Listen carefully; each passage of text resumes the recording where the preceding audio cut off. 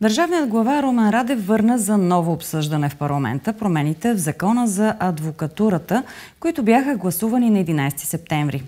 Припомняме, че промените уреждаха адвокатските хонорари и плащанията към особените представители в юридическия бранш. Според Радев, промените противоречат на правото на Европейския съюз, което забранява Сдружение на доставчиците на определени услуги да определят сами цените си.